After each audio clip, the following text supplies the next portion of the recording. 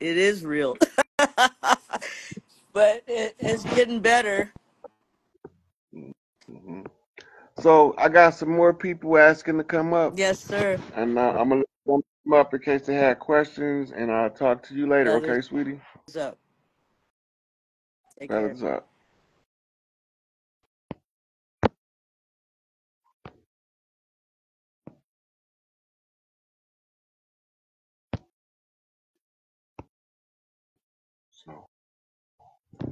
The next person up. I get long winded. I be like, damn, Rod, shut your ass up and let the people talk. And all the Hey, people how be you like, Rod, doing? won't you? Hey, I'm how working you on doing, sweetie? right now. How are you? I'm good. I'm good. You you make my eyes. How oh, are you say? yeah. No, I haven't had a stuff here, Let me stop. I'm getting online. I'm at work. I got I I'm at work. I, I wanted to show you this art piece I'm working on right now. Oh, let me see. How do I flip my camera?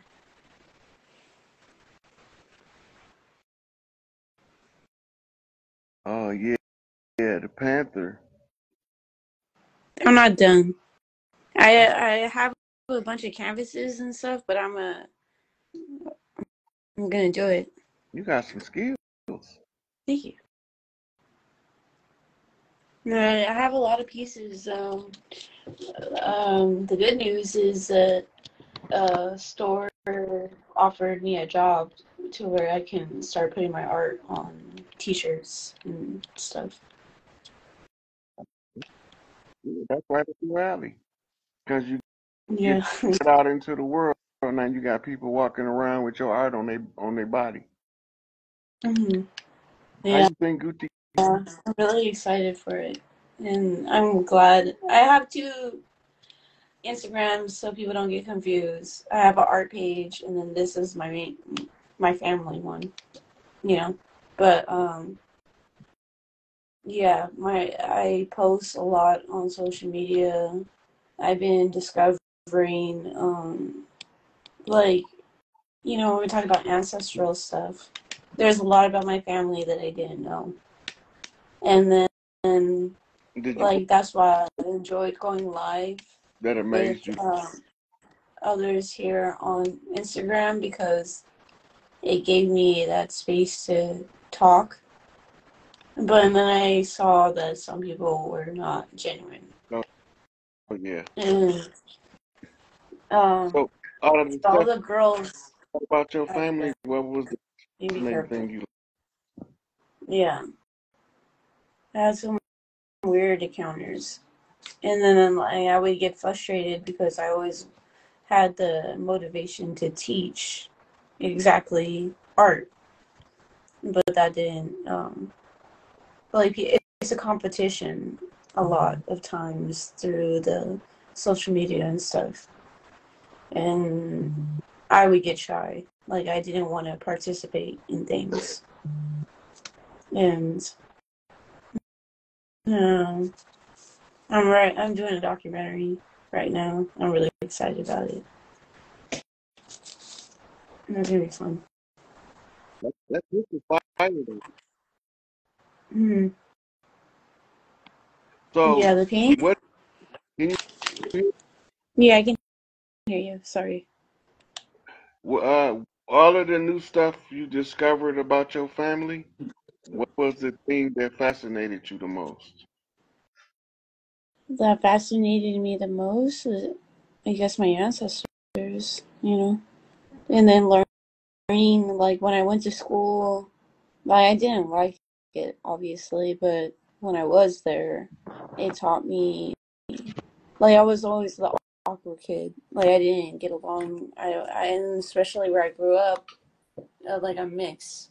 So I went to a strictly Hispanic school. hmm You know, so a lot of them didn't even look at me as um, Hispanic, but um, but I'm black. You know, so they don't. It was very very hard. Yeah, I got made fun of a lot, bullied and stuff. Well, you but know, my art um taught, taught me how to get through that. And, and um I think sometimes with the things I went through as a child, maybe hindered me as an adult, and that's why I want to help other women because I know women struggle through um, things that we went through as children, and yeah, that's my whole motive. I want to help people do art and learn art in a way of ex- expression, and I can show it to you again so you can have all my art supply. I'm just nervous, so I'm like. You're all right, sweetie. Yeah, that's cool. And you know, I kind of like wanted to make the panther look like Earth. Yeah. But I'm not done yet. This is like I I'm not um this is just a sketch. You got anything that's finished? Um yeah, give me one second so I can show you. Uh, there's a, a couple pieces I'm working on.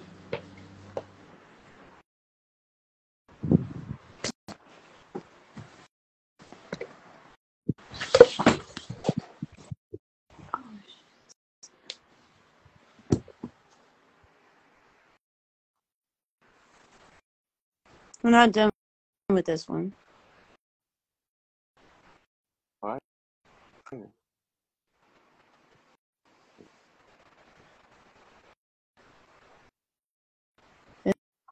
And then here, let me show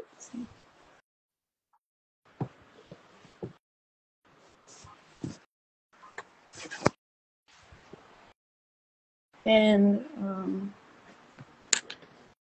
this one it was made by my son's father.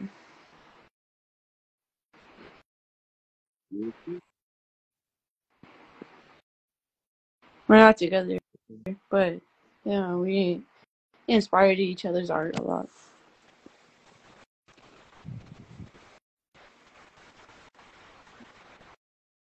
The people watching like you too. Yeah.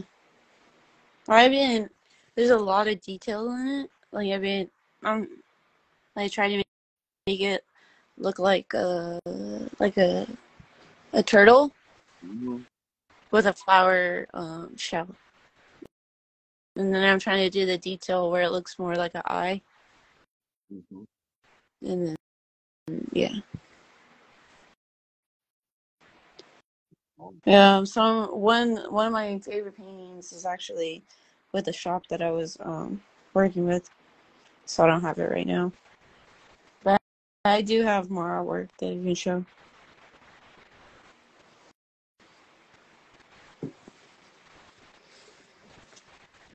Oh, this one. Sorry, all these canvases.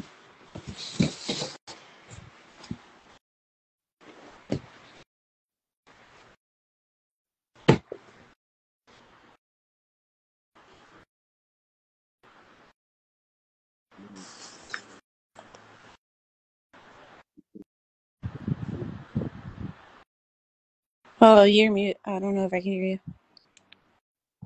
Yeah. I said you got some good. Yeah.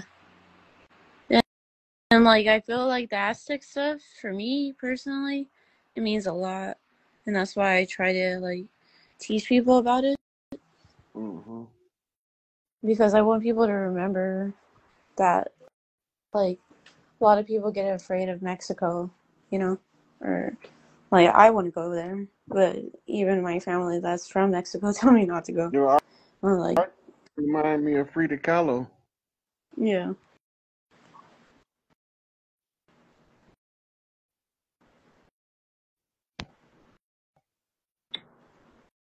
Oh. Okay, sweetie, I'm gonna let you out so I can let somebody come up and ask some questions. All right. It All was, right. I appreciate you Thank showing. you. Thank you. Thanks, man. Mm-hmm. I'll talk to you later.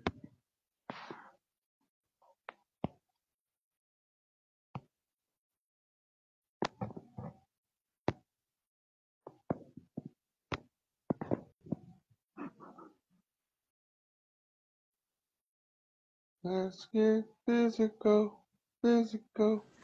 I wanna Hello. Hey, Let me get some some light.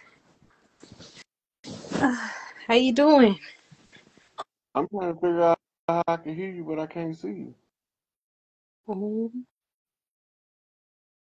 Is your camera on? yeah. Can you see me now? Oh, but go ahead, sweetie. Ask your question. Um, so I've been how how have how how are you doing? First of all. Uh, I'm doing miserable as ever, just like I'm supposed to Oh, be. oh dang. it's only a temporary condition. I ain't gonna live in that shit. Yeah, yeah, yeah. I've You know, been you I've been watching gotta be you something, said right? what? You gotta go through something to be something, right? Most definitely. I'm learning Okay. that now. So I can be something. Yeah. I've been um watching you and following you for a while now, maybe like two, three years, and I just I'm fascinated with um just like the connection that you have with with people hmm of like just, just telling us I don't know like the the spiritual part of us, you know what I'm saying? Yeah. Like how you can just when people talk to you, when you have conversations with people and you can just tell them like about themselves, you know? So the the question that I was having was like, I I want to be more in tune with like spiritually, like with my ancestors and stuff. Cause like a lot of people I have, I feel like I'm having those um intuitive moments or whatever, but I don't know. It, it just I don't never get like confirmation, you know? Okay. So let me help you with that. I need you to go to YouTube, and type in the art and science of self-talk. where you can just type self-talk in, and they're gonna give you tech. They're gonna explain to you how it works, the mechanics of the Mm. self-talk. Right? Then you get um, type in how to breathe like a singer. And every day for a couple minutes a day. It don't have to be no all day thing, but start controlling your breath like a singer, right? Exercises that singers do for breath control, right? Then um, you need to activate your first. You have to learn your higher language. This is why you, you need the self talk. So when you start start talking to yourself, you gonna in your mind you're gonna hear the answer coming back to you from source. Don't let nobody confuse you with what's going on inside your head. But everything that come into your head is not your thought. So if it don't sound like your voice, that ain't from you. But if you recognize the voice, you'll know who it come from. Mhm. Don't even know that when we hear things playing in our head, that they're not all in the same voice until you start start paying attention, Okay. right? So this, this is why you got to learn the art and science of self-talk so you can weed out all of the background talkers and tune in to your own voice coming from the higher realms. Then your information will start to be more accurate because now your intuition activate, you can intellectualize what you're perceiving because now you know how your higher self communicate with you, Hmm. right? And then I want you to get a book called the CRV Manual, the Controlled Remote Viewer Manual. It's going to give you exercises in there to train yourself how to be a remote viewer. That's clairvoyance. That's the ability to see into anywhere within the confines of space and time with the projection of the mind to the location. If you do those things, by the time but in practice them, you won't even realize that you from the practice you start actively using it, to be an active oracle. Okay. So yeah, that because that's definitely what I need to work on is like my discernment with um just in general, just my discernment. Because I, I Mhm. feel like I have like them them superpowers or whatever. I call them superpowers. My my great aunt, she knows. You ever heard of a saying where if you dream of fish, then they someone in the family is pregnant? Yeah, she she's been doing that for years. Like, and I told her about it. And I was like, "Yeah, you got superpowers or whatever." She was just like, "She don't. I don't know. She I don't know if she recognized it as that or, but she just It's the same as ESP. yeah So the I just gave you to um, practice, it makes you turn up the ability to use your psychic faculties better. yeah. Because I'm I'm you trying to and I'm trying to figure out like what I know. I have a lot. I've been like as a child, I dream a lot and I have weird dreams. Or sometimes it feel like my dreams are like deja vu. Like it's something about like dreaming is different for me. But I Mhm. can't never really like what's your name, sweetie? uh Takia Takia. Where, where you calling from? North. i'm supposed to ask that when I pick you up. I, forgot somebody in the comments just I am reminded me. from Durham, North Carolina. Ain't that something? Yeah. I don't get it, girl. Yes. So uh, the stuff that um that that you will be learning, it's gonna work gradually. You the more you practice it, the stronger it's gonna be when it start working. Because once you understand your higher language and how you communicate with yourself, you then you begin to be able to write your own personal codex, which is a translating tool for your dreams. This is why people dream journal Mm. because the dream will show patterns in the physical realm where you can translate your dreams Yeah, more accurate. yeah, that's what I'm trying to I be I be trying to figure it out. Like I look online and like do the, you know, dream um meanings and stuff like that. And sometimes it makes sense, but sometimes I can't like really what you call it? Uh It don't it don't actually match with yeah, what you feel. yeah, um, yeah.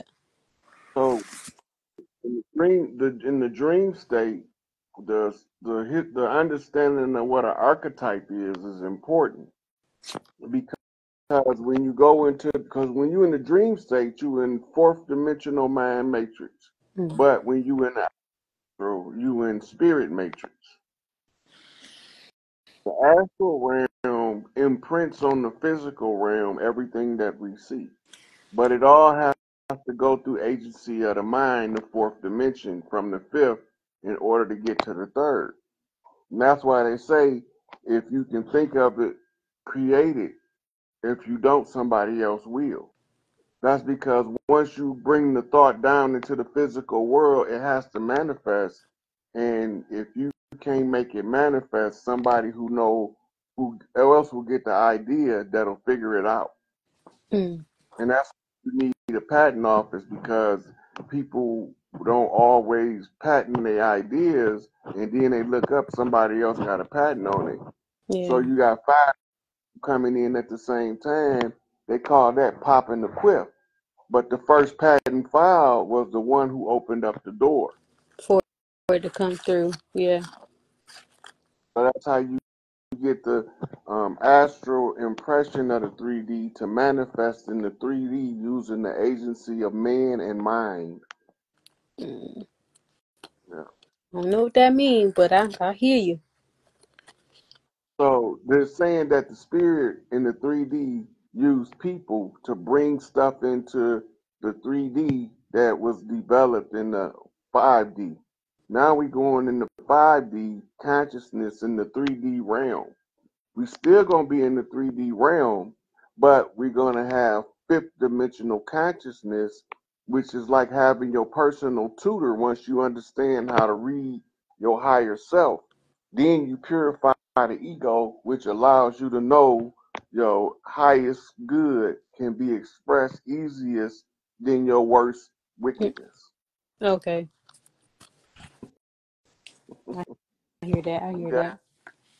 Yeah, I appreciate it. So, uh, you said YouTube and look up self-talk and then do a breathing, do the breathing methods that singers do. And Yeah, that'll help me out. Yeah. And don't forget the CRV control remote viewing manual. So, I hope you gonna say this live, right? Yeah, I'm gonna say it. Okay, because I don't got no pens. You said CRV, something, something. Play it back